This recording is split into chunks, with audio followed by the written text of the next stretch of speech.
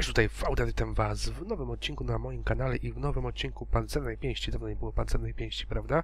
Więc dzisiaj mamy Pancerną Pięść i oto przed wami Rudy 102, czyli T3485 yy, przerobiony na Rudego yy, z ładnym malowaniem. Nie ma gwiazdki radzieckiej, więc o to nie musicie się martwić.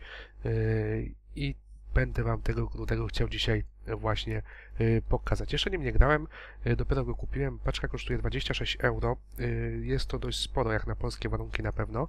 Natomiast w tej paczce dostajemy dodatkowo 1000 zł i, 20, i 30 dni premium, więc tak naprawdę jeżeli odejmiemy te wszystkie bonusy, to się okazuje, że około 12 euro kosztuje sam czołg, więc jeżeli kupujecie konto premium przez stronę WOTA, to zastanówcie się, czy po prostu nie warto wziąć takiej paczki, żeby mieć rudego. Generalnie ten czołg T-3485 e, i Rudy nie różnią się w jakiś zasadniczy sposób.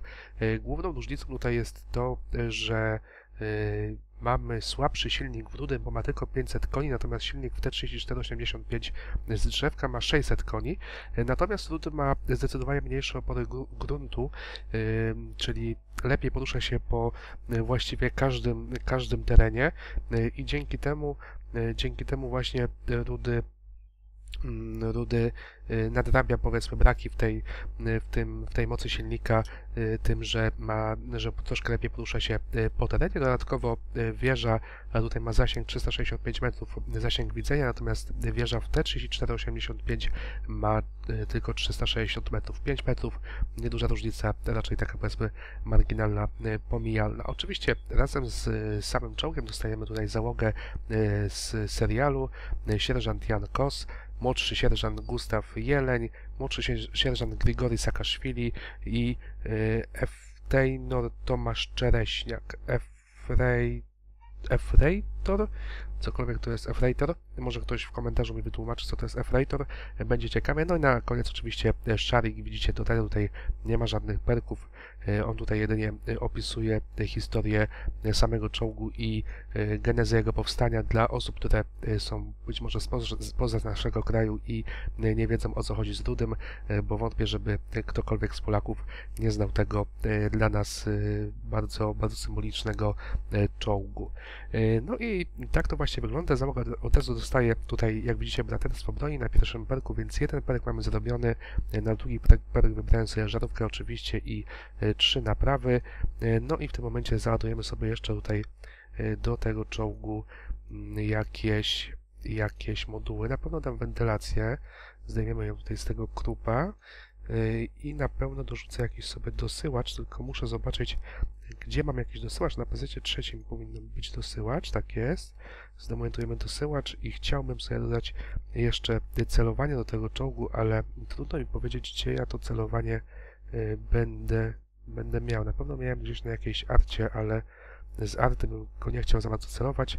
Ulepszony system naprowadzania jest na FCM, więc zdejmiemy sobie go z FCM-a y, i sobie wstawimy y, tutaj zaraz na, na naszego na naszego tudego. Y, więc tak, mamy ulepszona wentylacja, mam dosyłacz, tak zwany dopychacz i dodatkowo ulepszony system naprowadzania. E, więc mamy czołg wyposażony, jeszcze obsługę tutaj amunicji premium nie będziemy wozili, bo to jest czołg premium, więc chciałbym na nim troszkę pozarabiać przy okazji.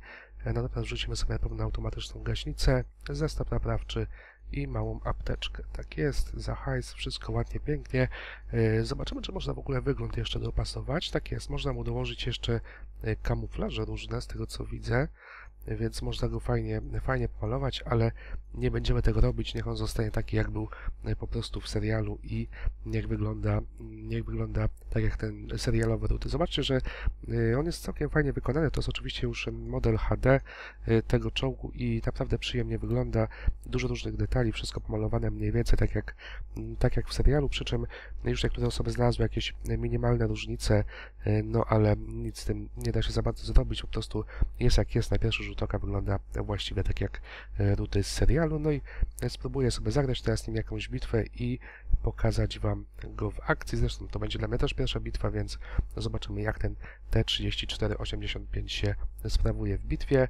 Yy, no i mamy jeszcze jednego rudego tutaj, jak widzicie po naszej stronie, jakiś Francuz sobie go kupił. No to spróbujemy tym rudym coś podziałać i coś powojować. Dobra, jedziemy oczywiście do miasta. No i będziemy próbowali, próbowali się tam postrzelać. Szósteczki. Y, Aha, jedna bardzo ważna rzecz. Y, Ten czołg nie ma preferencyjnego ten czołg nie ma preferencyjnego y, matchmakingu, więc może być losowany razem z tierami ósmymi.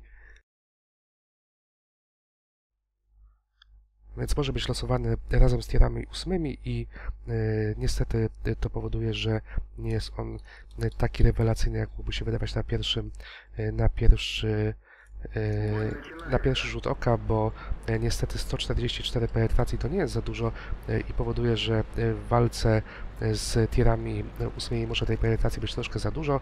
Zobaczcie, zbiera się całkiem fajnie, oczywiście y, T-3485 też nie był jakimś specjalnym demonem prędkości, natomiast jedzie całkiem przyzwoicie, 40 km już się rozpędziliśmy i jesteśmy w czubie, w czubie tutaj peletonu do miasta. Y, Dużo osób widzę y, się trafiło w bitwie, które mnie oglądają i, i macie pozdrowienia, jak widać na, na załączonym obrazku. Spróbujemy sobie strzelić tego Hellcata, ale on jest tam gdzieś schowany za, za kamieniami, więc nie ma na to raczej żadnych szans. Jedziemy więc do miasta zajmować dalej, dalej pozycję. Podjeżdżamy sobie y, coraz bliżej. Naprawdę fajnie wygląda ten czołg, fajnie pracuje zawieszenie, y, wszystko elegancko.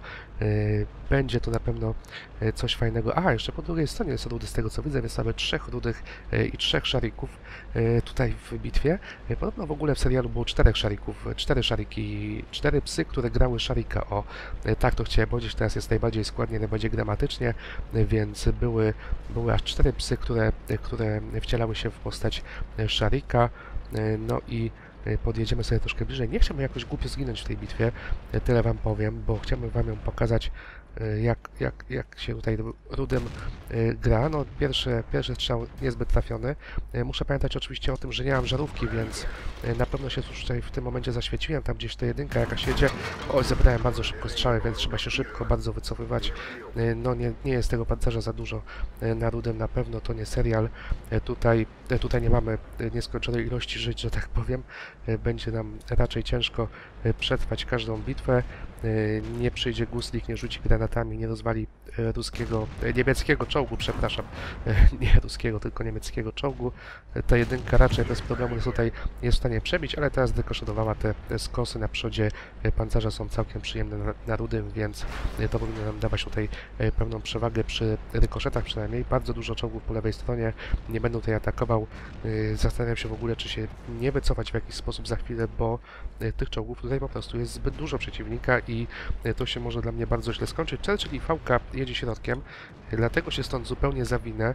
Y, Mam nadzieję, że nie dostanę w dupę od tego T1HT, na szczęście nie, więc jadę na środek i spróbuję po prostu posnajpić do tej Fałki 3001 i Churchilla. Tutaj w mieście to wygląda raczej nieciekawie dla nas i zapewne szybko się skończy zniszczeniem naszej drużyny. Y, Mam nadzieję, że oni będą pchali, po prostu dadzą szansę na to, żeby wszystkie te czołgi przejechały z drugiej strony, no ale zobaczcie, tutaj jedą 3 KW1, y, to nie są czołgi, które tam powinny się w ogóle znajdować. Y, Te czołgi dawno powinny być u nas, u nas po prostu w mieście i, i walczyć czołgami przeciwnika. Mamy Churchilla. Nie wiem, czy się świecę. Tak, zaświeciłem się, bo spojrzał na mnie, więc, więc pewnie mnie tutaj już widzi.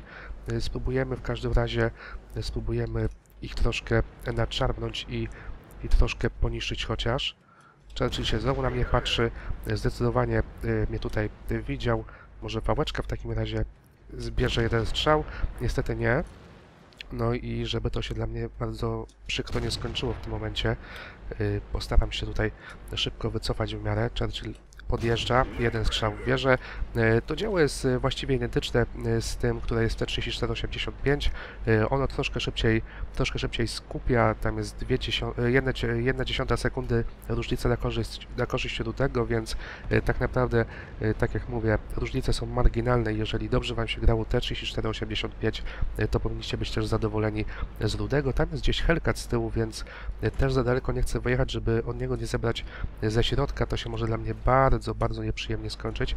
Zwłaszcza, że nie mam żarówki i nie wiem, czy zostałem wyspotowany, ale najprawdopod- najprawdopodobniej zostałem wyspotowany, bo, y, bo ten Churchill się nagle zatrzymał, chyba że strzela do KW1, y, więc y, ruszymy do tyłu i spróbujemy zaświecić tego, tego VK 3001, y, która tutaj gdzieś była w okolicy.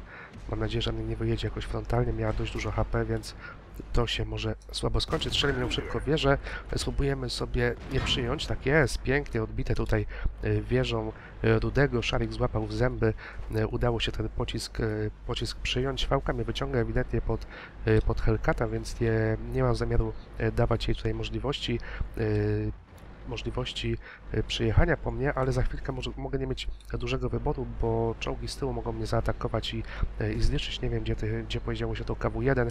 Y, Całkiem możliwe, że po prostu ono gdzieś tam pojechało do przodu. O, tak jest. Ta jedynka jedzie na mnie, więc muszę wyjechać po prostu na tą fałkę, strzelić ją, przyjąć jeden strzał, schować się szybko tutaj za, za y, widzicie, za kamienie. Tam niestety, tam niestety Helka do mnie strzela z, y, już ze środka, y, ale może mi się uda jakoś schować, może ta jedynka mnie nie zniszczy, może ktoś mi tutaj pomoże, dużo może, ale trzeba liczyć niestety nie tylko na siebie, ale też na troszkę szczęścia. W tym momencie ta, ta jedynka za chwilkę gdzieś tutaj się pojawi, na razie się schowała, ja stoję tak, żeby ten Hellcat mnie nie widział, przede wszystkim na tym mi zależy i może uda mi się przebić tą tę jedynkę, jeżeli ona wyjedzie z kamienia, będzie chciała mnie dokończyć. Niestety nie udało się, ale ona też mnie nie przebiła. To jest fart z mojej strony. Jeszcze ją troszkę podpuszczę, żeby jeszcze trochę wyjechała.